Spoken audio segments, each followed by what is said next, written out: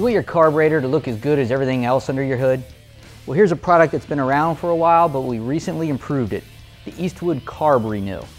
It's a translucent acrylic enamel that's resistant to fuel and most additives. It's available in silver or bronze for that OEM appearance of almost any carburetor. And it's easy to use. While your carburetor's apart and the jets are removed, simply spray Carb Renew on the exterior of the bowl cover and the main body. It'll have your carburetor looking as good as the rest of your car. Go to eastwood.com for more products that'll have your project looking great.